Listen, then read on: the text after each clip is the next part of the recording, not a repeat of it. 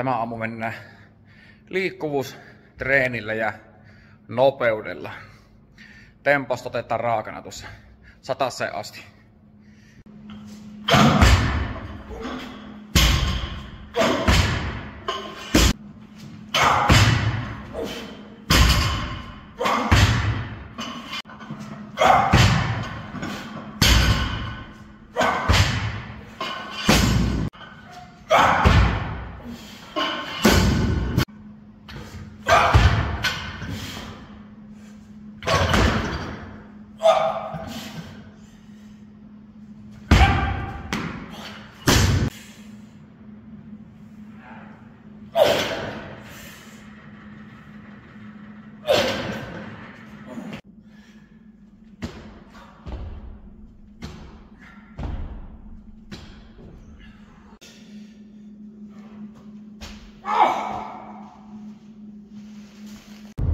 Semmonen helppo kevyt aamureeni.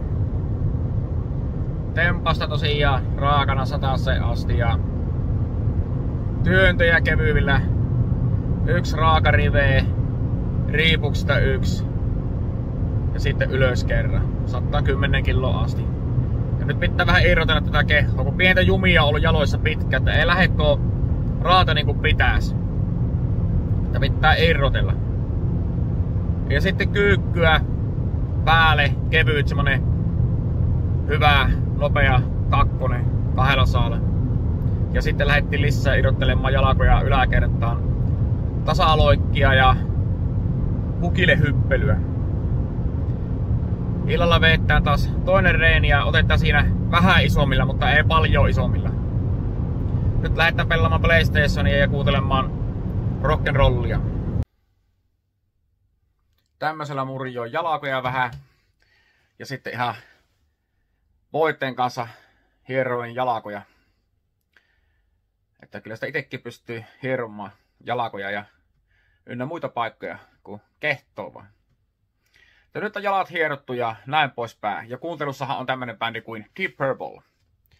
Albumi vuodelta 1975, Come Taste the Band. Ja tämä on yhtyen neljäs kokoonpano. Tässä ei soita Richie Blackmore, joka on yhtyen keulahahmo, legendaarinen kitaristi. Että tässä soittaa semmonen kitaristi kuin Tommy Bolin, joka kuoli myöhemmin huumeiden yliannostuksen huippukitaristi. Helikotin hyvä kitaristi ja tämä on minun lempilevyjä. Ehkä jopa tärkein levy yhtyöltä. Ja kannattaa kuunnella. Come Taste the Band, Deep Purple, 1975. Ai, ai, ai. Kyllä sauna tekee terää reenin jälkeen. Lihakset pehmiä. Täällä on ihan inhimillinen kelikki. Onkohan täällä jopa plussa asti, kun ei tullut katsottua. Ainakin lähellä ollaan plussa. On tämä mukavaa tämä urheilu. Nautitaan elämästä. Vielä kun sitä on. Toivottavasti on pitkä ja pysyy terveen, niin pystyy harrastamaankin urheilua. Niin kuin sanoin, niin ei tässä mitään maailmaa enää valoteta. Tänä vuonna täytetään 45. Että ei ole sen kumpia tavoitteita kuin Suomen ennätykset 45-vuotiaassa ja yleisen sarjaan lähde SM-kissoihin näillä näkymin. Työnteho on ihan hyvässä kunnossa ja tempas nyt on ihan ok.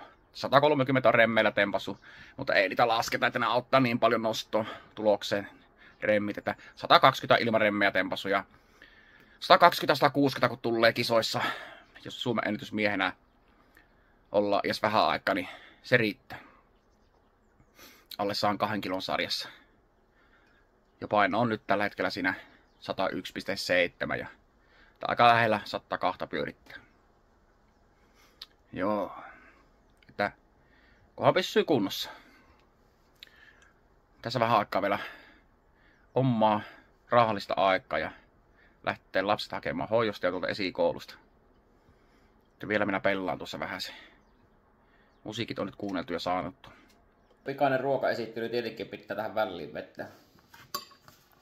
Ei sitä tarvi sen kummempia ruokia. Lasanne tee vähän sen tuossa ja muutamat piirakkaleivät meetwurstilla ja maippo. No niin, tässä ruvetaan nyt pelaamaan uusinta Call of Dutya.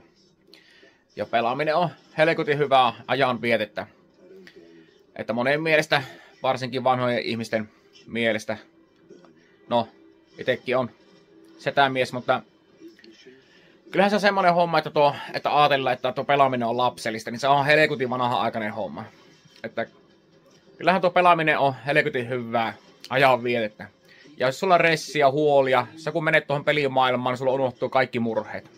Vähän niin kuin menisit salille, niin sulla unohtuu siellä asiat. Että se on harrastus siinä, missä painonnosto ynnä muu urheilulaji, tuo pelaaminen. Se vaatii myös osaamista ja semmoista taitoja, nopeita refleksejä pelaajalta. Että eihän se niin sanottu, että se on lapsellista. Kyllä minä pidän lapsellisempana semmoista, että sä tuolla nuorena Jannona oot tuolla pusiikossa juomassa kaljaa ja polttamassa tupakkaa, niin se on helkutin lapsellista touhua. Että sinä myrkytät itseäsi tahalla kaiken maailman alkoholeilla ja tupakalla. Ja tämähän pelaaminenhan on, kehittää sinun aivotyöskentelyä. Että alkoholin juominenhan ei hirveänä kehitä sun aivotyöskentelyä, että päinvastoin se tuhoaa sun viimeisetkin aivosolut. Että nyt vanhat ihmiset, niin lopettakaa tuo hömpötys tuosta, että tämä on jotenkin lapsellista. Ei ole. Tietenkin suosittelen muutakin tekemään kuin pelaamaan siinä sivussa, mutta kohtuilla kun pelaat, niin helvetin hyvää ajanvietettä. Lisää vielä sen verran tuohon, että tietenkin kannattahan se miettiä nuorten, minkälaisia pelejä pelaa. Että ei, näissä kannata ihan mitata nuorten pelejä, näissä on ikärajat. Ja liikapelaaminen ei ole hyväksi. Eihän se liika urheilukka ole hyväksi, niin samahan se on näissä. Että ei se tarkoita sitä, että koko päivä istutaan konnella. No niin, tulukahan viholliset.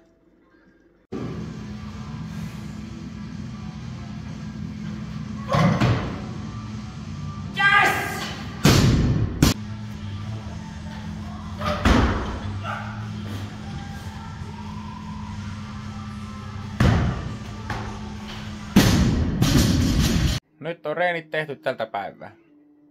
Iltareeni meni hyvin, paremmin kuin tuo aamureeni. Että nyt ruppee nuo jalat aukeamaan. Tempas 110 kiloa asti ja hyvälle tuntu. Nyt ruppee kohta raata lentämään. Ja työntö 130 kiloa asti. Vettä nyt välillä vähän kevyemmin. Sitten lähtee. Lapset on saatu nukkumaan. Silloin isä ruppee kuuntelemaan progressiivista rockia. Ja nyt on vuorossa illaksi tämmönen Yes-yhtye. The Yes-album vuodelta 1971. Ja tämä on yhtyen läpimurtoalbumi. Jos progressiivinen rokki kiinnostaa, niin 70-luvulta löytyy paras roke-musiikki. Onko tuolla vielä jossain elämää? Onko siellä joku, joka nostaa enemmän kuin Lasha? 267 kiloa. 400 nostaa joku pään päälle. Ja täällä luullaan olevamme vahvoja. Tulehan tänne. Eihän se kuuro kuule mitään. Tule tänne.